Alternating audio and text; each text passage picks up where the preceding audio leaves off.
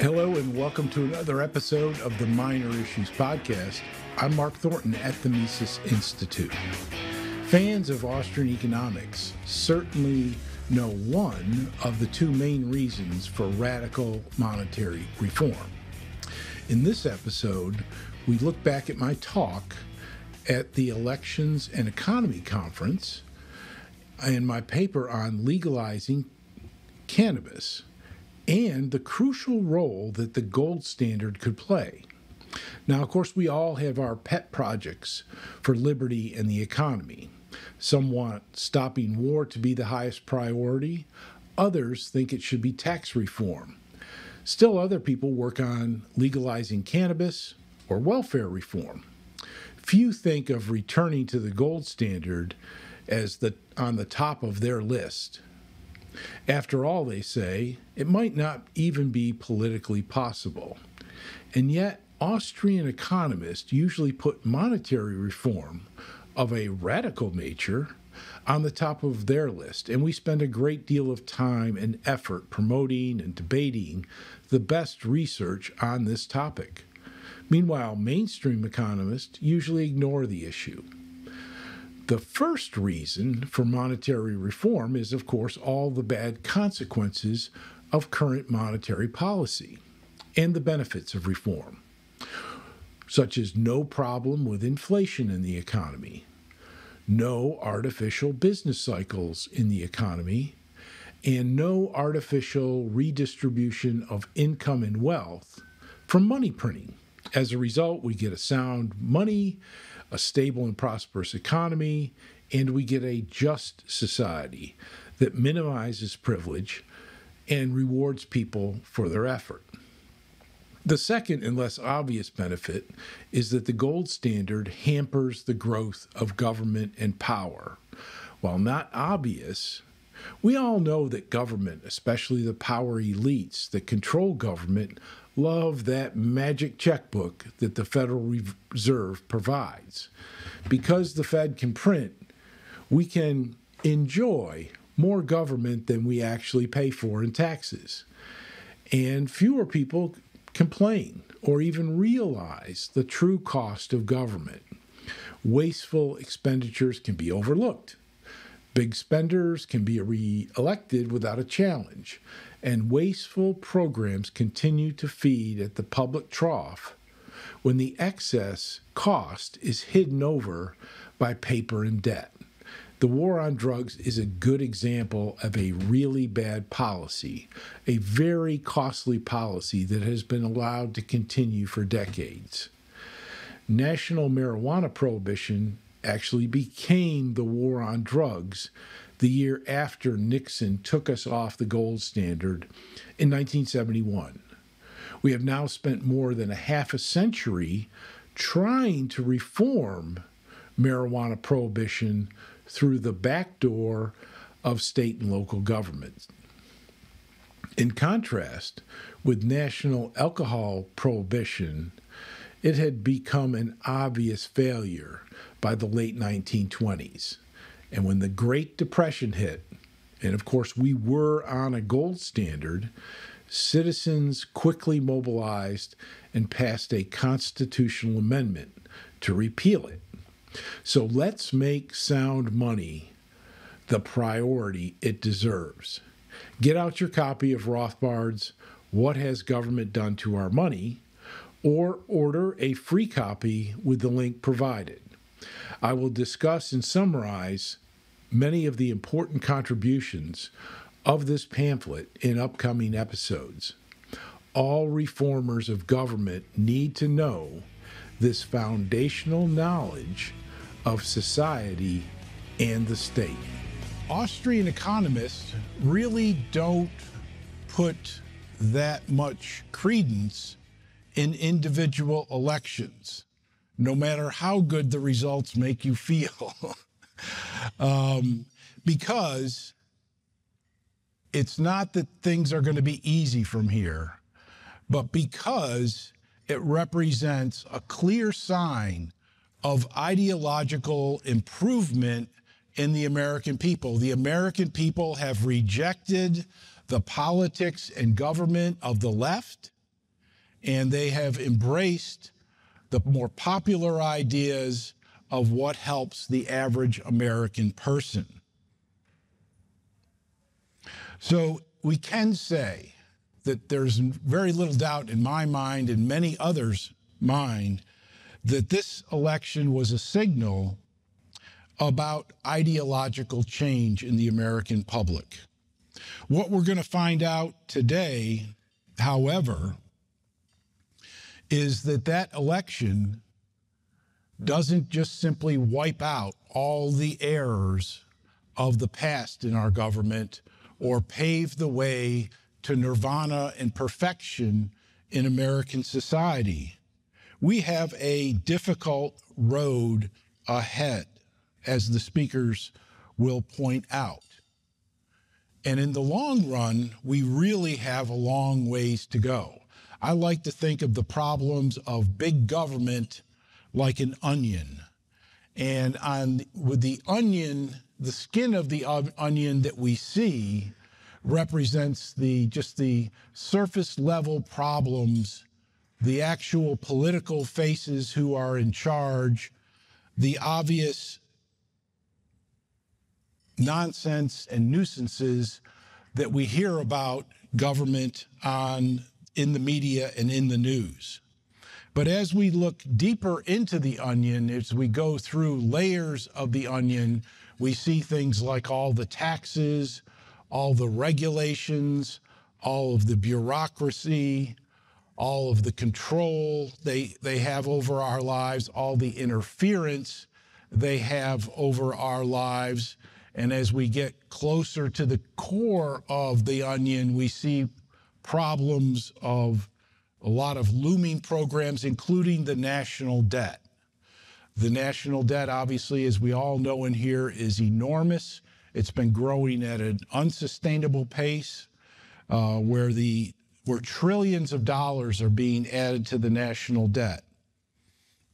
And at the core of the onion is where the onion, where the new leaves are formed, where the onion grows and it expands um, ceaselessly. And the way I like to think of it, that's where the Federal Reserve is. That's where a big ultimate problem rests. The Federal Reserve is what allows and what has allowed government to grow enormous and all powerful. Uh, that's also, by the way, the part of the onion that forms those compounds that makes us cry when we try to chop the onion. So I think that's a very useful analogy. Next time you're chopping onions, you could think, damn that Federal Reserve. the title of my talk is Voting on Drugs. And I'm specifically going to be talking today about cannabis, which is the actual name for marijuana, which is kind of a propaganda name the government gave it a long, long time ago. Now, this issue uh, would seemingly be very small and very insignificant from the point of view that we're really concerned about today. Um, it was an issue uh, in the election this time. Here in Florida, there was a measure on the ballot to change the Constitution of Florida to legalize recreational use of cannabis um, here in the state of Florida. It did not pass. It required a 60% uh, of the vote to pass. It was endorsed both by President Trump and Vice President Harris. First time that's ever been done with two of the leading presidential candidates endorsing cannabis legalization. Uh, it turns out that um, Governor DeSantis was not didn't like the cut the state of Florida was getting in the whole thing, and he opposed it vigorously um, with himself and various departments, taxpayer money uh, to oppose that. So this time it did not pass. But again, it seems very, very small in the bigger picture of things, but it really is a case study in government. So we can learn a whole heck of a lot about government, about the current situation, the difficulties of changing the general direction of government, solving problems like the national debt, those bigger problems um, somehow seem more understandable and more tractable and more solvable once we see the legality of drugs like cannabis in the proper perspective. So it is big. It highlights the difficulties involved in ideological change. And the way Austrian economists see um, politics is that you have to change people's ideology. You have to change the way people think about how the world works and how government works and how society works in order to ultimately win elections and change policies. It also highlights the difficulties, indeed the futility sometimes of electoral change. So we see that problem as well in illegal drugs and their legalization. It also highlights, oddly enough, it highlights the importance of monetary reform. And in doing so, it highlights the importance of the work that the Mises Institute does. So I'm going to take you back almost 100 years to 1937 when the U.S. Congress passed the Marijuana Tax Act, sort of igniting or reigniting prohibition and the war on drugs. The bureaucracy of prohibition, which had been thrown out of a job, saw this as a way to reestablish their power and reestablish their job, frankly. Um, organizations like the uh, FBI and so forth uh, derive a lot of their power, authority, and budget budget um, from the war on drugs and prior to that, prohibition. It also highlights the role of progressivism. We think of progressives as a new political ideology, but it's been around for more than a century. Progressives in actually in the late 19th century sought to use government to control the people. They sought to use propaganda to control society. And they were otherwise a very nasty, racist group that wanted to ex- exert their control over society. when the Marijuana Tax Act came up for passage, science groups opposed it. They said cannabis was a very legitimate um, thing in pharmacology and in medicine. It was used in a wide variety of industries in the United States. My father owned a pharmacy, and he had a lot of the old bottles and stuff, sort of a museum of pharmacology uh, in his pharmacy.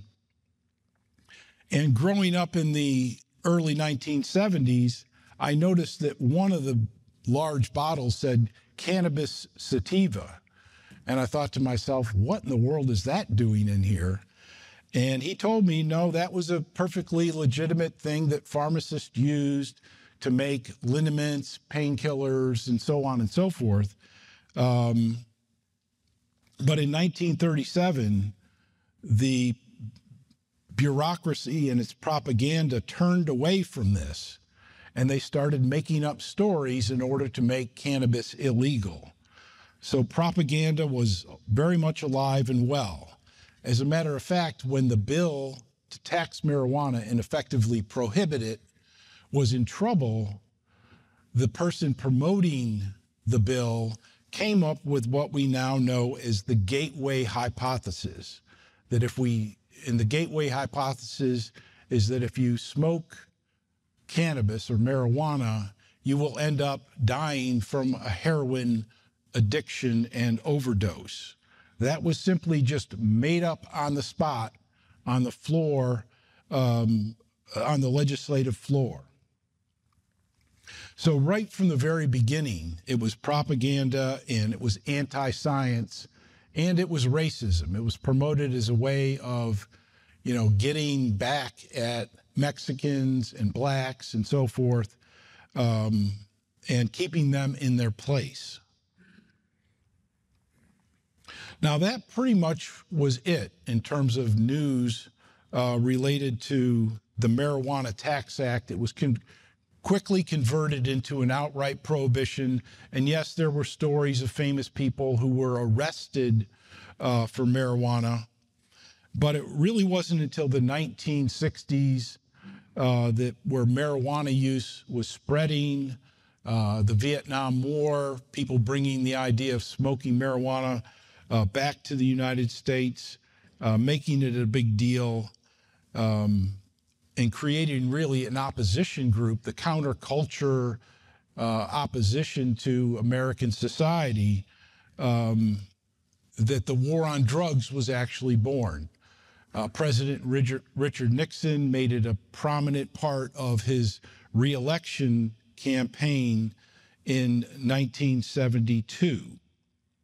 At the time, Gallup started um, polling Americans about their views on cannabis, marijuana, and whether it should be legal or not.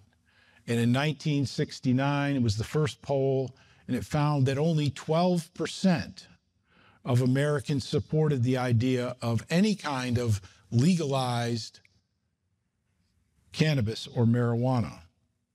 And those numbers stayed very low throughout the early 1970s. Of course, that's a public opinion poll. I'm not sure how much anybody in here believes public opinion polls anymore. Um,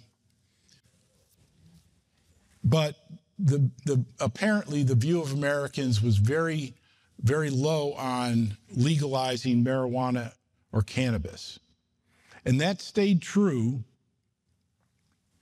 uh, for uh, several decades, uh, certainly through President Reagan's war on drugs.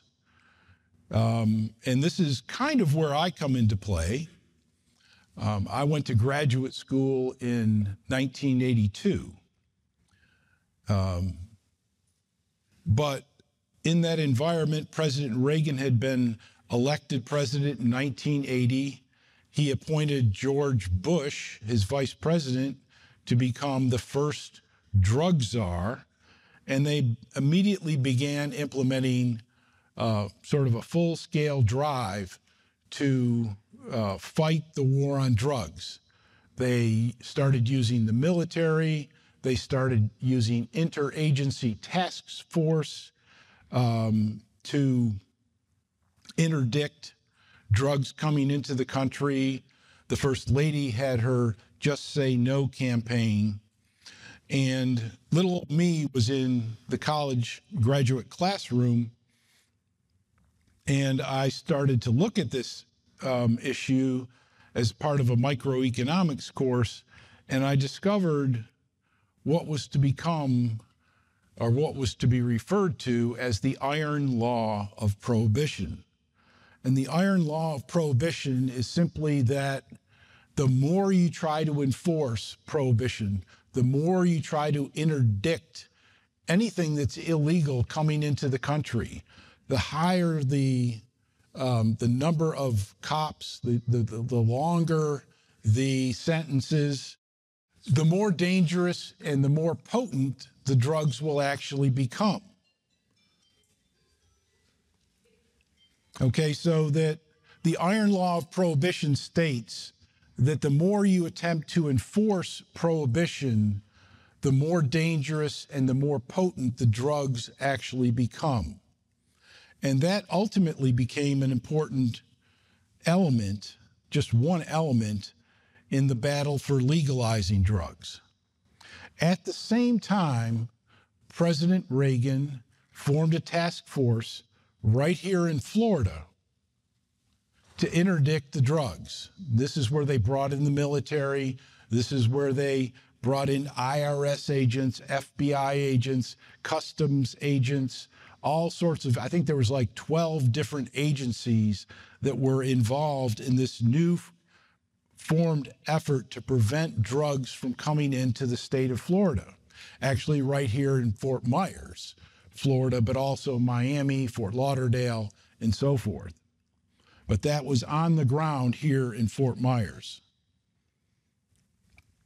And what they found out with that task force was that they couldn't prevent the drugs from coming into the country. Even the bureaucrats themselves admitted that they couldn't stop all the drugs from coming in. And then the federal agents noticed that, hey, not only are we not getting them in, uh, preventing them from coming in in Florida, but there are actually more drugs coming in in Charleston and New Orleans and Houston and Baltimore and places like that. But one of the things that I noticed, and it gave me more support for this iron law of prohibition, was that the price of marijuana in Florida did go up significantly. But it was also simultaneously the first time that there were massive new shipments of cocaine into the state of Florida. So on the streets of Miami, it was said that you could hardly find a joint, but that the price of cocaine had been cut in half by all of these agents trying to interdict drugs into the state of Florida. So, by making it more difficult, the drug smugglers simply switched from the big, bulky barrels, or not barrels, uh, bales of marijuana. Thank you. yeah, not, yeah. You're just a farmer. Um, and they simply switched to the more condensed, more potent, more valuable product, which was cocaine. And then right after that, the crack cocaine uh, epidemic started and spread throughout the country. And, and of course, this has really come back to haunt us in, uh, over the last couple of decades in particular. I myself had a hard time selling this as a dissertation proposal, uh, something that would make the war on drugs unwinnable in theory was not a very popular topic at Auburn University, which is a very conservative agricultural school. Um, and support for legalization in the country was still only in the low 20%. But there was a slow rising tide against marijuana prohibition. The externalities or costs of the war on drugs were building up. The cost of law enforcement, the cost of the court system and prisons, the cost of broken families, the cost of people being killed, either directly in the business or directly as consumers, overdosing, uh, from the drugs or in the innocent bystanders who were being shot and killed uh, as a result of the black market resulting from prohibition. So the costs in the war on drugs were increasing. This was starting to weigh on uh, the American public. Decriminalization of cannabis started in the 1970s. So some Americans saw right off that the idea of prohibiting marijuana was stupid. Uh, these were mostly places in the western United States on the periphery, the places that progressives don't think are very important, statists don't think are very important. Um, and then there was also a lot of non scientific discoveries about marijuana. The government um, speaking about being anti science, uh, the government simply suppressed any research uh, involving this former pharmaceutical drug called cannabis. They simply suppressed any research that would promote any idea that it could provide any benefit. But despite the suppression, people were finding out that, hey, marijuana helps with this condition or that condition. It helps people with cancer because it helps fight pain or it spurs the appetite or whatever it happens to be, or it calms you down. Uh, the AIDS epidemic was very similar. It helped people spur their appetite. It helped relax them and reduce their anxiety, uh, reduce their pain, and so forth. So, non scientists were discovering that cannabis had a lot of really important medical applications that the mainstream medical profession had no answers for. And so in 1996, despite the effort of the government to suppress it, states started legalizing medical marijuana.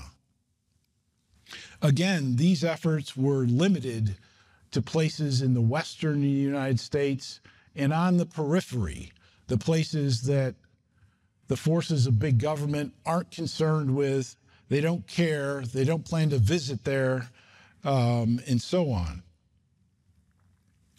But they did happen starting in 1996. But the cost of this war and the spreading of the war um, and the iron law of prohibition, which resulted in all of a sudden methamphetamines spreading in use and in production throughout the United States, um, ravaging a lot of communities. The spread in addiction to opiates uh, throughout the United States, spurred on by a lot of the pharmaceutical companies and uh, the medical profession uh, sort of endorsing that whole process.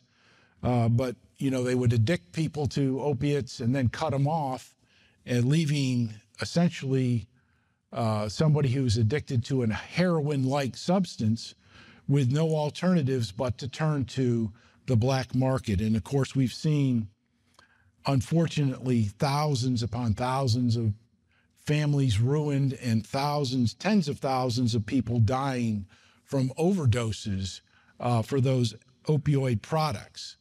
And then, of course, even the government caught on to the fact that their opioid prescription for America was not working.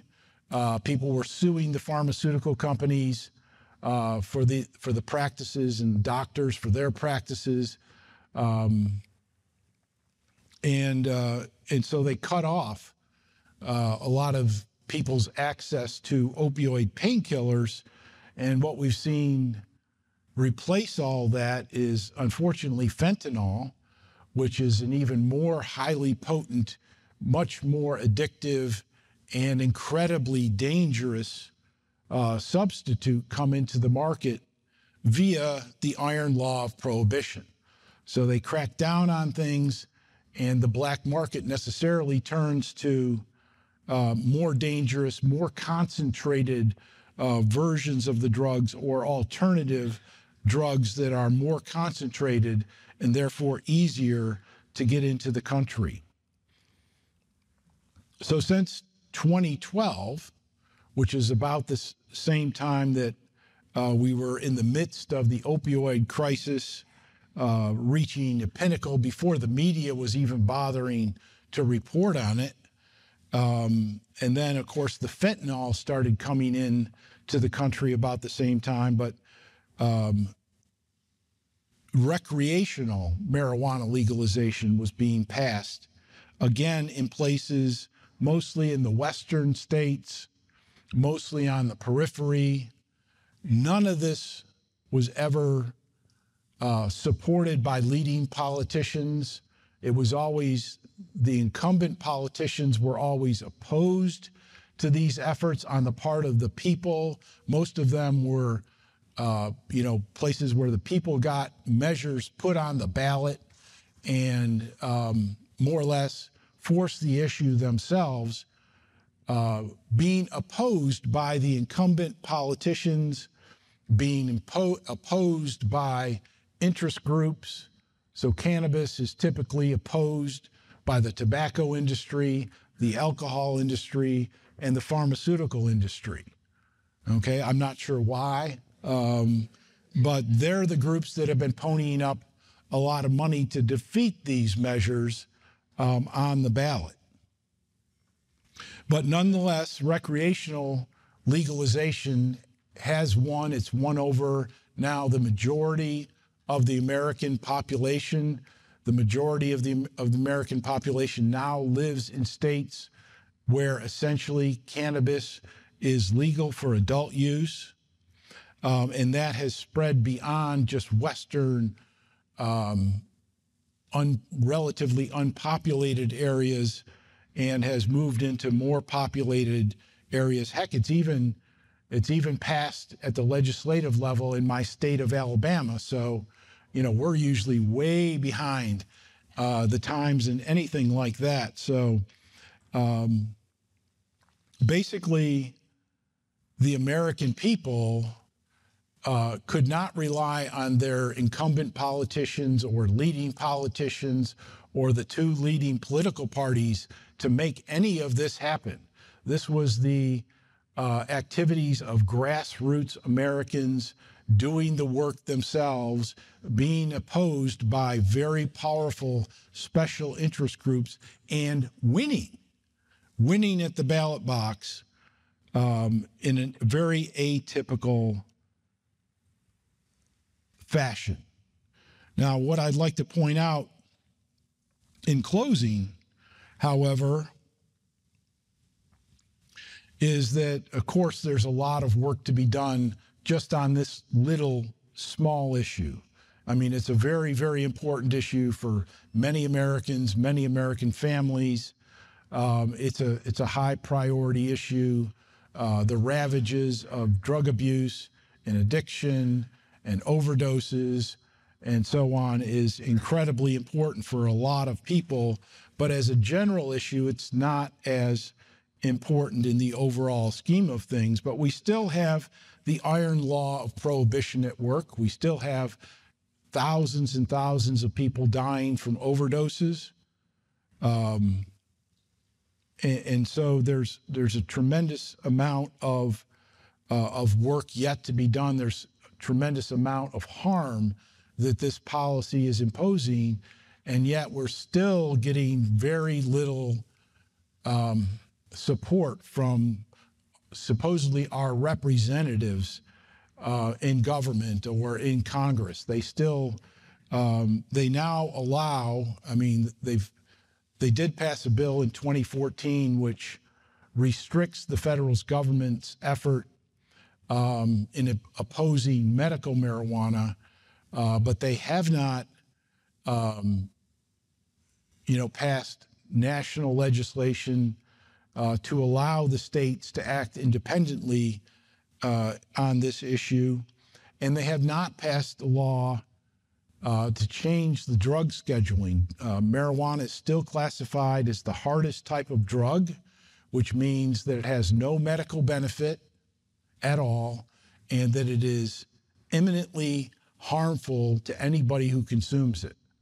Now, that's a really hard statement to stand behind, but basically, the two major political parties are still standing behind that drug classification when all the evidence in the world, I mean, cannabis is certainly any kind of drug, anything you put in your mouth is dangerous and potentially harmful. But the idea that cannabis has no med- medical applications whatsoever is just patently absurd. And also the idea that it's eminently dangerous. Anybody who smoked one joint is going to be lost to society forever is, is obviously contradicted by the experience of hundreds of millions of people throughout time and around the world. So let's take a look, quick look back, because I said I'm going to touch monetary policy on this. When alcohol was repealed in 1932, they had to pass a constitutional amendment repealing the first constitutional amendment. So the 21st Amendment repeals the 18th Amendment. So we were in the depths of the Great Depression, but we were still on a gold standard. And what that meant basically is that not only were the American people in trouble, but American government at all levels was also in trouble. They were starving for tax revenues, just like Americans were starving for their incomes, their wages, and their jobs. So it was the depths of the Great Depression in which alcohol prohibition was repealed. So we still had to rely on the people, but you couldn't count on the Federal Reserve just to write checks to everybody to solve the problem. You could the government couldn't just go into $5 trillion of debt and just tell everybody to stay home. That just wasn't an option because we were on a gold standard, and the gold standard promotes honest government and it promotes government to make the hard choices. If government wants our money, it's got to use it for the things that are deemed the most valuable. And obviously, alcohol prohibition was not the most valuable, it was the least valuable, the most destructive of all government policies. So we were actually able to very quickly and very completely repeal alcohol prohibition after only 12 years. It was kind of the silver lining of the Great Depression, but the decision was forced. The government was, their hand was forced because they were on a gold standard and they just couldn't borrow an unlimited supply of money or they couldn't just print up uh, an, an infinite supply of money to solve all problems, to fill every budget, to pay every bureaucrat. So you might be, and a lot of people wonder why Austrians put so much emphasis on the gold standard. And we're going to talk a little bit, obviously, today about the direct problems that the gold standard solves. But with the lesson of prohibition, we realize that being on a gold standard not only does a lot of great things economically for us, but it helps keep government honest and it forces government to change itself to follow the dictates more of the people than of the progressive politicians.